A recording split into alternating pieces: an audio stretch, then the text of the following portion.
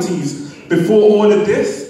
Before the formation of formula sought to sift the sun and explore what the source of the earth's orbit is, the sum of this order was none. Just a sort of mist that covered the face and the front of this unformed abyss.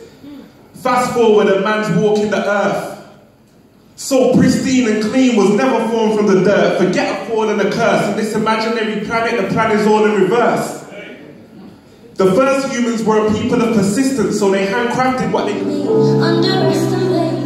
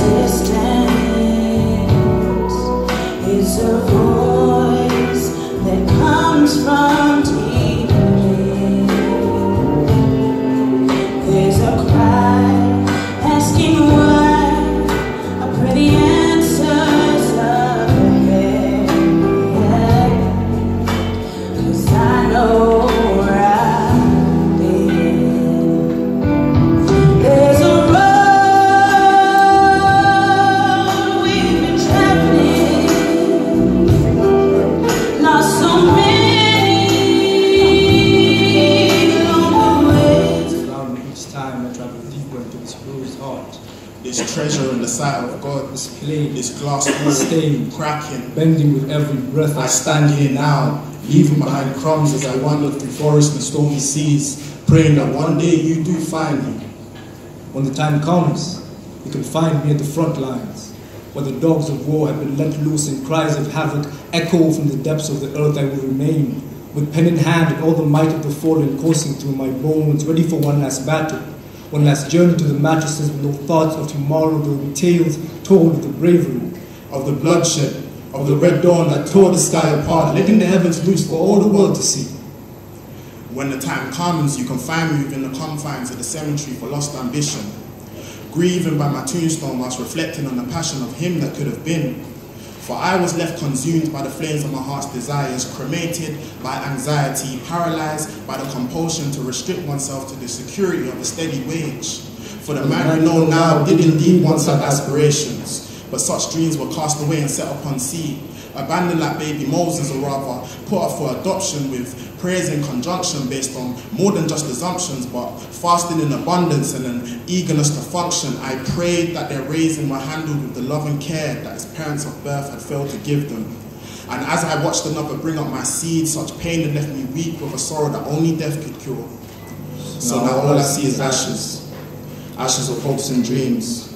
Ashes of nothing but me. You can find me in the eye of the hurricane, ready to dive back into the storm if it meant peace for the ones I love. If it meant resurrection for the ones I've lost. If it meant just another day for that one night.